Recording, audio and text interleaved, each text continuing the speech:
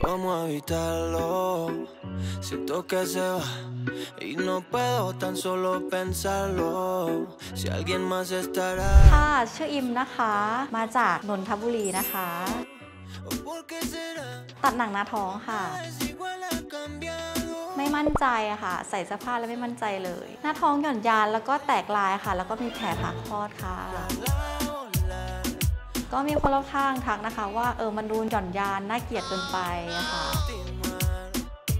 ได้ดูรีวิวมาประมาณ 3 ปี ก็เลยตัดสินใจมาทำที่นี่ เดี๋ยวจะเข้าห้องผ่าตัดแล้วนะคะ ฝากติดตามด้วยนะคะ